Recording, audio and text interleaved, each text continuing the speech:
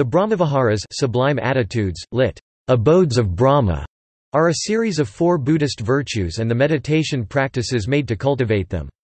They are also known as the Four Immeasurables Sanskrit, apramana, Pali, apamanya. The Brahmaviharas are loving kindness or benevolence metta, compassion karuna, empathetic joy mudita, Equanimity according to the Metta Sutta, cultivation of the four immeasurables has the power to cause the practitioner to be reborn into a Brahma realm. Pali, Brahmaloka, the Brahma Viharas, along with meditative tradition associated with Brahma Vihara, are also found in pre-Buddha and post-Buddha Vedic and Shramanic literature.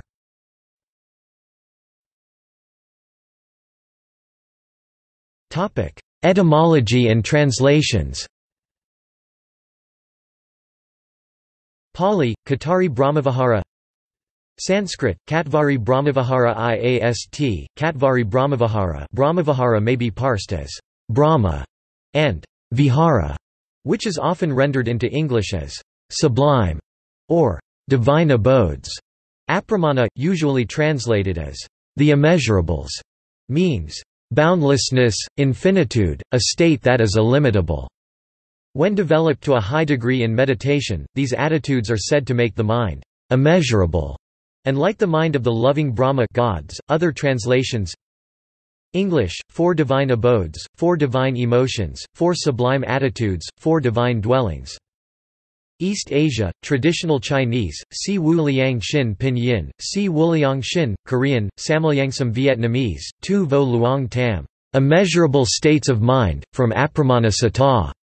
Traditional Chinese, Si Deng Xin Pinyin, Si Deng Four Equalities, Universals. Traditional Chinese, Si Fan Xing Pinyin, Si Fan Xing Noble Brahma Acts, Characteristics. Tibetan, Wylie, Shangs Pai Gnasbzhi 4 Brahmavihara or Tibetan, Wylie, T Shad Med Bzhi 4 Immeasurables.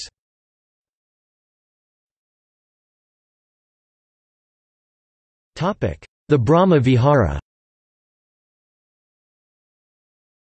The four Brahma Vihara are Loving kindness Pali, metta, Sanskrit, maitri is active goodwill towards all. Compassion Pali and Sanskrit, karuna results from metta, it is identifying the suffering of others as one's own. Empathetic joy Pali and Sanskrit, mudita, is the feeling of joy because others are happy, even if one did not contribute to it, it is a form of sympathetic joy. Equanimity Pali, upekkha, Sanskrit, upeksa, is even-mindedness and serenity, treating everyone impartially.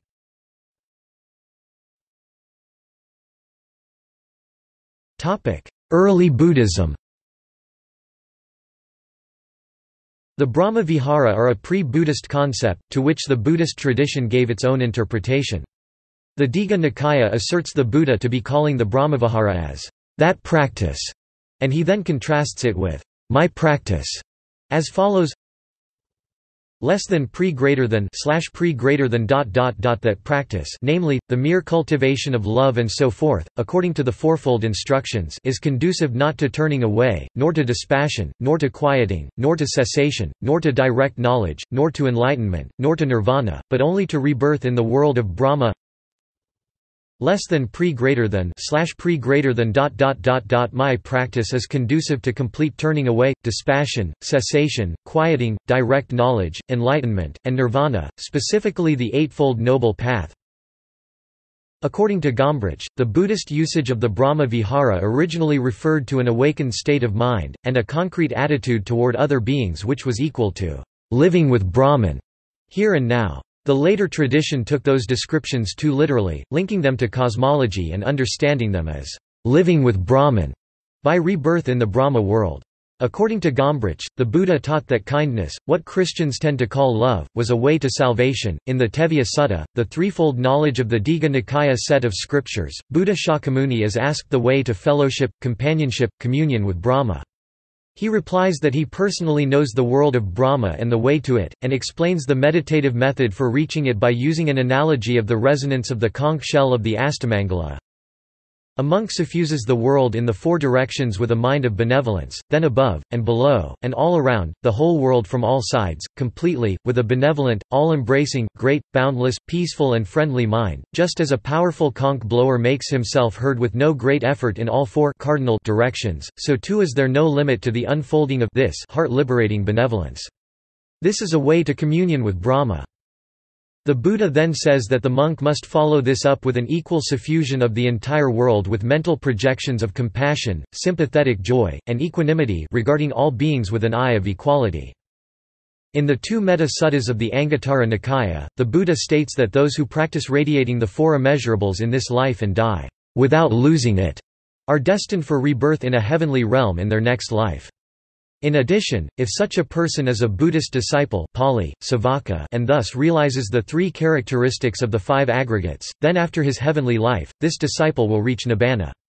Even if one is not a disciple, one will still attain the heavenly life, after which, however depending on what his past deeds may have been, one may be reborn in a hell realm, or as an animal or hungry ghost. In another sutta in the Anguttara Nikaya, the laywoman Samavati is mentioned as an example of someone who excels at loving kindness.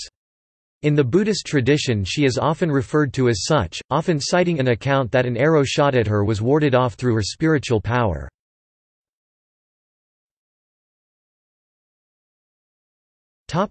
Visuddhimagga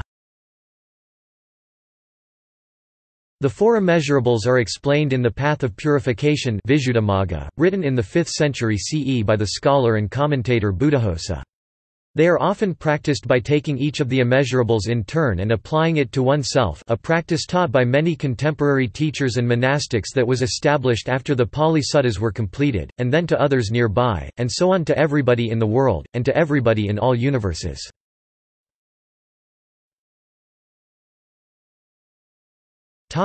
A Cavern of Treasures MD Zod Phug A Cavern of Treasures Tibetan, Wylie, MD Zod Phug is a Bonpo terma uncovered by Shenchen Luga Tibetan, Wylie, G Shen Chen Kludga in the early 11th century. A segment of it enshrines a Bonpo evocation of the four immeasurables. Martin N. D. p. 21 identifies the importance of this scripture for studies of the Zhangzhung language.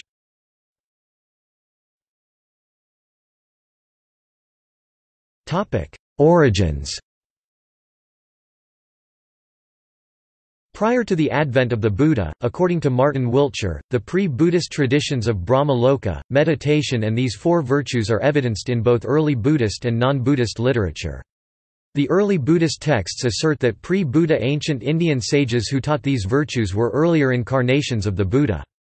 Post-Buddha, these same virtues are found in the Hindu texts such as verse 1.33 of the Yoga Sutras of Patanjali. Three of the four immeasurables, namely Maitri, Karuna and Upeksha, are found in the later Upanishads of Hinduism, while all four are found with slight variations, such as pramoda instead of mudita, in Jainism literature, states Wiltshire. The ancient Indian Paccekabuddhas mentioned in the early Buddhist suttas, those who lived before the Buddha, mention all four immeasurables and Brahmavihara, and they are claimed in the suttas to be previous incarnations of the Buddha. According to Peter Harvey, the Buddhist scriptures acknowledge that the four Brahmavihara meditation practices did not originate within the Buddhist tradition. The Buddha never claimed that the four immeasurables were his unique ideas, in a manner similar to cessation, quieting, nirvana. A shift in Vedic ideas, from rituals to virtues, is particularly discernible in the early Upanishadic thought, and it is unclear as to what extent and how early Upanishadic traditions of Hinduism and Shramanic traditions such as Buddhism and Jainism influenced each other, on ideas such as four immeasurables, meditation and Brahmavihara. In an authoritative Jain scripture, the Tattvartha Sutra, chapter 7, Sutra 11, there is a mention of four right sentiments: maitri, pramoda, karunya, madhyastha, Benevolence towards all living beings, joy at the sight of the virtuous, compassion and sympathy for the afflicted, and tolerance towards the insolent and ill-behaved.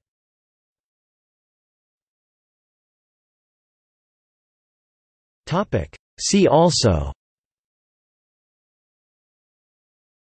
Karuna Avalokiteshvara